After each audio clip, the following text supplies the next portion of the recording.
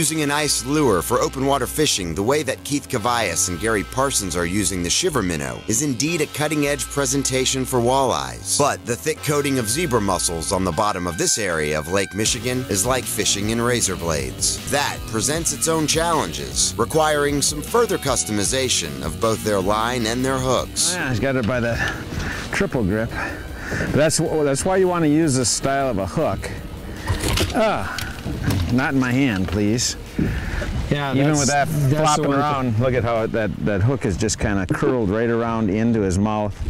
What you want to do for these shiver minnows is actually change out this treble hook. When these lures were designed, they were designed for ice fishing, and those smaller hooks are great for that. But for this open water fishing, especially if you get around bigger fish, you'll want to have a, a bigger hook on there. I move all the way up to a number four triple grip. This is a you know black nickel one here. It's just your standard one that we use on crankbaits. The big advantage of a triple grip, first of all, obviously, is it holds on to fish better. We've learned this through the years running crankbaits that that little bit of an inward bend actually locks that hook on that fish's mouth. These baits with this big chunk of lead here, the fish like to move their head around and slap that big chunk of lead around. It can be a little bit of an issue losing fish. So moving to that bigger treble hook is important. But the second thing that we found with this triple grip, and it was kind of just by fishing it that we found this out, is because of that inward bend, when this gets down in the bottom near the zebra mussels or near the moss, that inward bend actually keeps a lot of that junk off, so it keeps this lure fishing cleaner. So not only are you gonna fish cleaner, but once you get those fish on, you got a lot better chance of landing them with that triple grip. Yeah, he's a pretty decent fish. I would say, he's actually pulling so hard. we got a little bit of weather moving it. oh, he's pretty wild.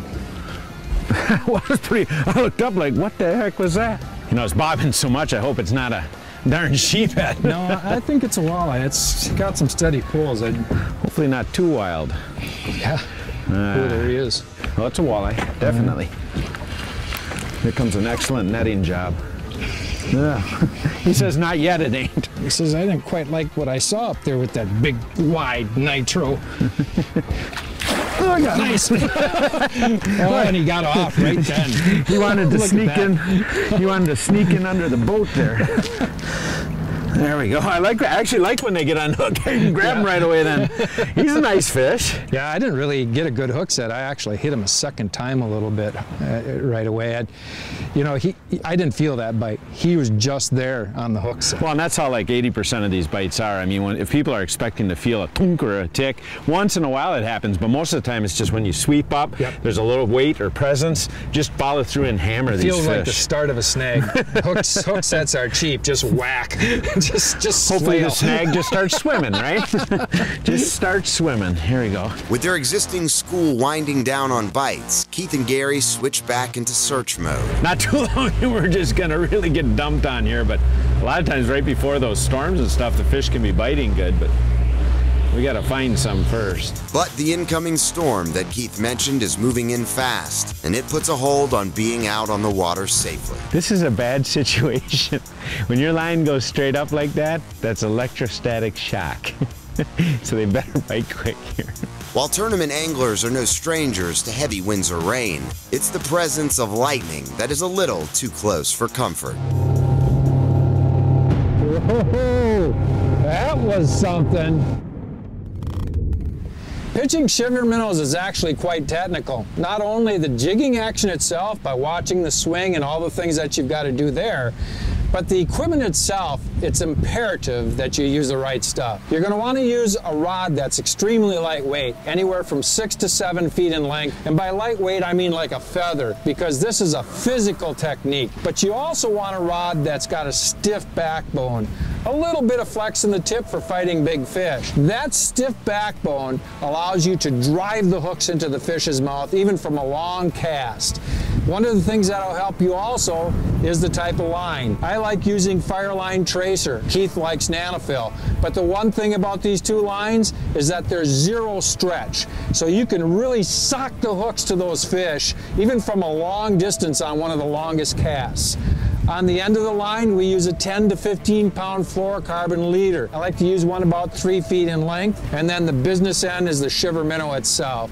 By using this setup, you've got the best of all worlds. You've eliminated stretch, you've got good backbone, and you can sock the hooks and get those fish in the boat.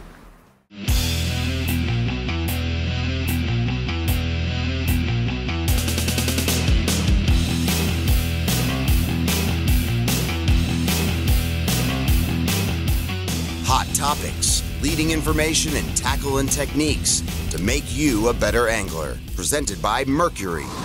Hi, folks. Steve Miller here with Mercury Marine, and I want to talk to you today about one of the coolest parts of our new 90 and 115 four-stroke outboards, and that is the fact that we are the only manufacturer to offer not one but two different gear case options to really help you maximize the performance of any specific boat you may have. So we've got our standard gear case, which is an all-new gear case design with a very sleek, unique hydrodynamic profile to it with 15% less hydrodynamic drag, which is a fancy way of saying it pushes the boat through the water a lot easier. That will help your cruise speed speed, fuel efficiency. It helps your top end and your all-around performance, and it's the perfect gear case for those 16, 17 foot boats that generally lift very well all by themselves. But then for those heavier boats, 18 plus foot, we've got a larger command thrust gear case. We've taken the larger gear case from the 150 four-stroke, changed the ratio to a nice, powerful 2.4 to 1 ratio, and put it on the 90 and 115 as an option. So now if you've got a boat that's quite a bit heavier, has a little little trouble lifting itself, getting up out of its own way, this gear case provides a lot more leverage in the water